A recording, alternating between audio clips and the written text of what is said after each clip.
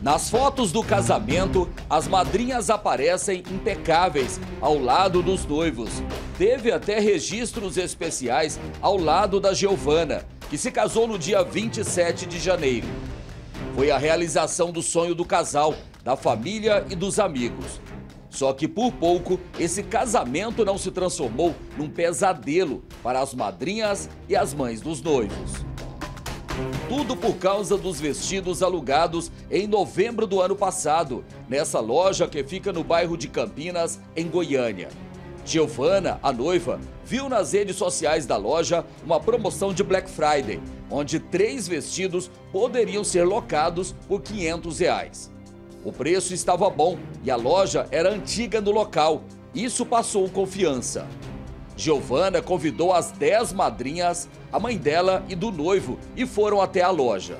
Foi uma recepção maravilhosa. É, chegamos aqui, ela fez uma recepção para as meninas, fizeram um café da manhã. A venda, a, o, o, encanto para vender foi maravilhoso. Inclusive com o café da manhã num domingo. Sim, num domingo, ela marcou com a gente. Foi bem estratégico, porque nenhuma loja estava aberta, a gente não ia ver outros modelos de vestido, somente o dela. Natália e Franciele, que foram madrinhas do casamento, ficaram encantadas com o atendimento. Teve até coquetel para fechamento do contrato e escolha de modelos dos vestidos. A gente veio, experimentou, escolheu os modelos. Tinha madrinhas que tinham que tinha gostado de modelos no tom terracota. Ela, não, eu vou fazer modelo novo para você nesse tom, com tecido que eu pego todo, todas as madrinhas, coloco tudo no mesmo tom de terracota, porque terracota tem várias cores. Assim a gente fez, a gente tirou medida, pagamos, fizemos quatro contratos com ela, porque era cada três, três pessoas num contrato só. Cada contrato sairia no valor de 500 reais. Ao todo foi pagado para ela dois mil reais. Os contratos de locação dos 12 vestidos foram assinados no dia 26 de novembro do ano passado, dois meses antes do casamento. Em dezembro, as madrinhas começaram a suspeitar de que algo estivesse errado. Ao procurar a dona da loja, elas foram informadas de que por causa do recesso de final de ano, os vestidos seriam feitos no início de janeiro, mês do casamento. Eu entrei em contato para saber como estava o andamento dos vestidos, estava tudo certo, falou que ia entrar em recesso e voltaria dia 9 de janeiro. Voltando no dia 9 de janeiro, mandei uma mensagem perguntando como estava a confecção dos vestidos, ainda não tinha começado, que começaria na outra semana. Já na outra semana, mandei mensagem novamente perguntando sobre os vestidos. É, falou para mim que a costureira tinha um problema e que é, mais rápido possível iria começar. Mandei mensagem também para ela, perguntando se já tinha comprado os tecidos. Ela falou que sim, que estava tudo certo. O desespero começou uma semana antes do casamento, quando a dona da loja teria informado as madrinhas de que os vestidos não tinham sido feitos e que os contratos tinham sido cancelados pela loja. Todo mundo surtou porque faltava 10 dias para o casamento. Tinha muitos vestidos, os tinha vestido da mãe da no, do, do noivo que era pedraria. Ela não tinha nem começado a fazer ainda. Aí ela virou e falou que iria fazer, que quem quisesse desistir, é, ela, iria, ela, ela iria fazer o estorno pra gente. Isso foi na sexta-feira. Ela, ela, iria fazer o estorno pra gente. Não houve estorno nenhum. Nisso, oito meninas iriam, iriam, tinham desistido e quatro iam ficar com ela. Quando a Franciele foi fazer a prova com ela na terça-feira, o marido dela simplesmente falou que não tinha contrato nenhum mais, que ela não iria entregar vestido nenhum. Isso na terça-feira, no dia 23, o casamento era dia 27. Fui muito maltratada. Ele falou que não tinha mais vestido, que ela tinha cancelado os quatro contratos que ficou, que ele não, ela não ia fazer mais, que a gente procurava outro lugar para alocar. Simplesmente assim? Simplesmente assim. Do jeito que ele estava sentado na poltrona, ele ficou. Você foi avisada do cancelamento do contrato? Nenhum, não teve contato nenhum. Para que o casamento não fosse prejudicado, as madrinhas e as mães dos noivos tiveram que gastar mais dinheiro para alocar outras roupas de última hora em outras lojas. Elas bem que tentaram convencer a dona da loja a devolver o dinheiro pago pela locação, sem sucesso. Deusina mostra o comprovante da locação feita de última hora na semana do casamento. Esse documento mostra a locação do vestido que a senhora foi para o casamento. Segundo vestido, né? Do, do, do, do, segundo vestido que eu tive que locar. Era 450 reais. Era 450 reais. A moça ficou muito comovida com a minha situação, deu um desconto e saiu por 420. Isso de última hora, ali. Última hora, já no, na, na semana do casamento. Revoltadas, elas procuraram a Polícia Civil para registrar ocorrência contra a loja.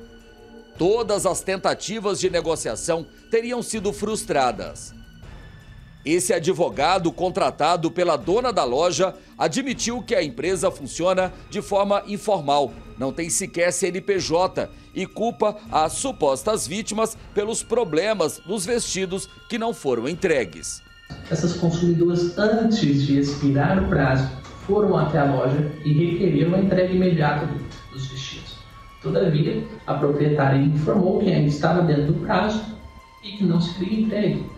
Entretanto, as consumidoras requeriram de extrato o cancelamento pela não entrega do produto, mesmo dentro do prazo. Mas a cláusula oitava, que está no contrato de ciência das consumidoras e assinada por elas, já afirmava que não haveria devolução dos valores em caso de distrato. O advogado ainda acusa as supostas vítimas de terem difamado a loja nas redes sociais. Foram muito agressivos, inclusive difamando com discurso de ódio nas redes sociais.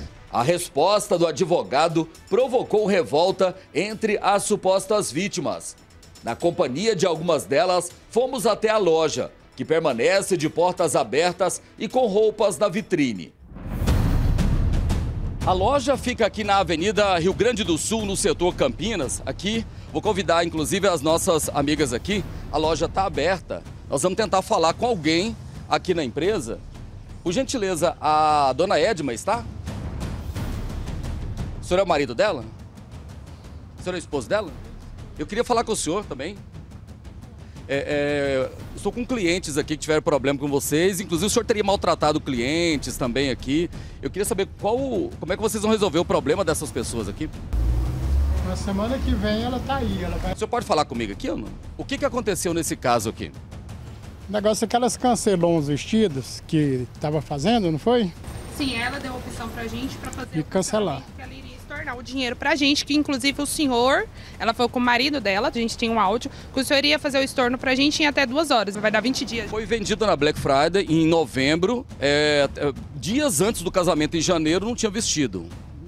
Pois é, mas ontem a menina ligou para ela, ela ficou de passar quinta-feira o dinheiro para elas, não, da semana que vem. Não. Ela nem Como é que é? responde as mensagens e quem que tá com o celular? Porque até então você sempre fala essa mesma história e ela sempre tá respondendo no WhatsApp. É, sempre fala que é funcionário, que ah, é funcionário que tá falando, ai, não sei o quê, quando não atende. Vocês não conseguem falar diretamente com ela. Eu tive aqui no dia 26, estava eu e meu esposo, tentei comunicar com ele, sabe o que, que ele falou? Procura a justiça, que a gente não vai fazer estorno nenhum. Polícia, gente... O senhor mandou elas procurar a polícia? Ignorância, ela veio com ignorância. O homem que nos atendeu e que se apresentou como ex-marido da proprietária admitiu que a loja não tem CNPJ ativo e alegou que a dona está doente, sem condições de trabalhar. Eu estou aqui a semana, desde a semana passada, porque ela está doente. Aí eu estou aqui com a menina aqui, ó, só para ficar aqui com ela. É, mas a loja está aberta, está fazendo locação? Não tem locação. Tem quantos dias que a menina está aqui não está locando. Na presença da nossa equipe, uma funcionária da loja anotou nomes e telefones das supostas vítimas e prometeu que a loja vai entrar em contato para tentar um acordo. Passa para você, para elas aí o telefone de vocês. Olha aí. Então ela, a dona não está, apesar da loja estar aberta. Na Justiça de Goiás, existem vários processos contra a loja de roupas para festas. Um desses processos foi movido pela Lucineide de Matos Martins, que mora na cidade de Tumbiara, no sul do estado. Em junho de 2023, se preparando para o casamento da filha, Lucineide esteve na loja e fechou um contrato. E infelizmente, eu fiz o contrato com essa pessoa, paguei uma entrada e dividi o restante num cartão é, que na maquininha saiu em nome de, de uma pessoa chamada Kennedy, que eu nem sei quem é, que inclusive a justiça já acionou e também não compareceu. A gente fez o contrato com eles é, com a promessa que com 30 dias a gente poderia voltar para poder experimentar que, que ela fazia os, os ajustes necessários para mim já voltar com esse, com esse vestido pronto. Kennedy é o homem que se identificou como ex-marido da proprietária da loja. Quase todos os pagamentos eram feitos em uma conta no nome dele.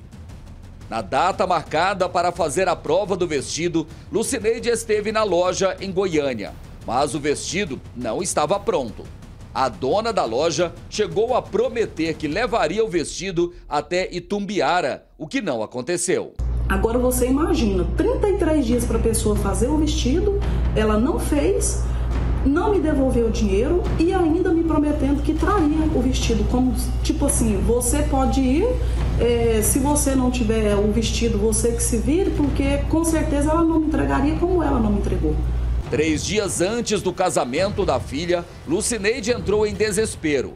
Teve que locar um vestido de última hora em outra loja. A gente foi lá no dia que ela prometeu, que foi dia 20.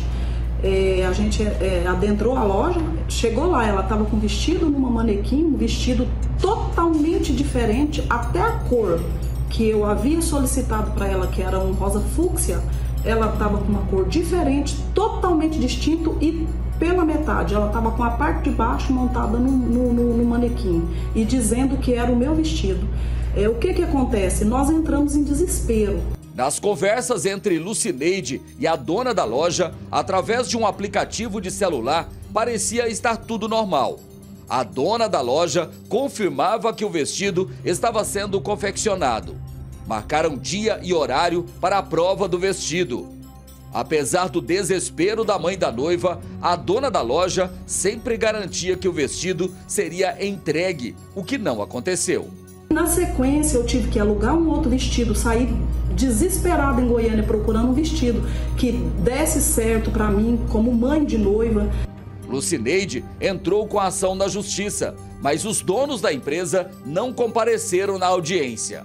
Apesar de ignorar a justiça, a loja continua aberta. Entrei judicialmente, é, é, até agora, as duas notificações, a, a, as duas audiências que houve online, nenhuma das duas, nem ela e nem o Kennedy, que depois disso eu vira saber que é esposo dela, também não compareceu nas audiências. Então, resumindo, ninguém localiza eles mas você passa na porta, a loja está aberta, ela está atendendo com a maior cara de pau, como se nada tivesse acontecido.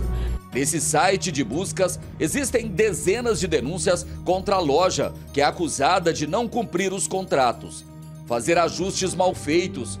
Nesse comentário aqui, foi postado o relato de que a empresa não entregou os vestidos de sete madrinhas de um casamento. A maioria das reclamações acusa a empresa de não entregar os vestidos na data combinada. Para quem ficou no prejuízo e ainda enfrentou uma tremenda dor de cabeça para que o casamento fosse realizado, a promessa de devolução do dinheiro dificilmente vai ser cumprida. Eu não acredito. Eu não acredito e se, se realmente não cair na minha conta o dinheiro depois, eu vou entrar em contato de novo com você. Vai continuar alugando, enganando outras vítimas, que apesar que agora vão ver isso, né? As pessoas vão saber o que está acontecendo. Não vai acontecer.